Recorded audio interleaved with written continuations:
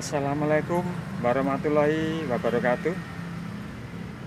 Salam jumpa lagi di channel Petani Pisang Gadu-Gadu Waru Sidoarjo.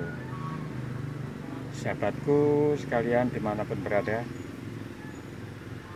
Di siang hari ini Saya mau melintasi Mau melintasi jalur atau lorong pisang gado-gado yang di tempat ini atau yang di jalur ini ada berbagai macam pisang. Seperti yang berikut ini sahabatku ya. Nah ini.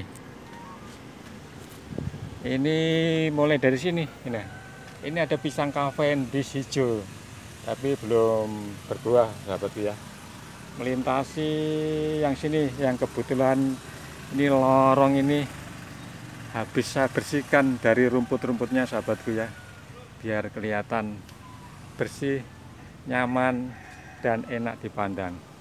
Ini pisang Ambon sahabatku.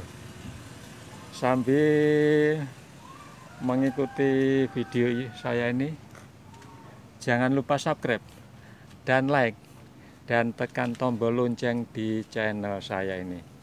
Nah ini sahabatku ini saya namakan lorong pisang gado-gado sesuai dengan channel saya.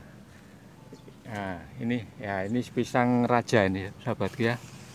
Nah, ini pisang raja yang kebetulan masih ada jantungnya untuk menyiapkan kalau ada warga yang punya hajat atau mantu sahabatku.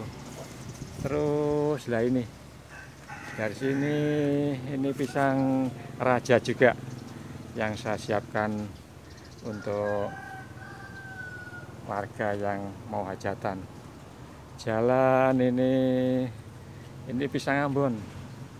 Pisang Ambon sahabatku. Nah ini pisang Ambon masih ada jantungnya. Nah kebetulan ini ada lagi pisang raja pisang raja yang sengaja sudah saya potong jantungnya karena sudah mendekati tua atau siap dipanen.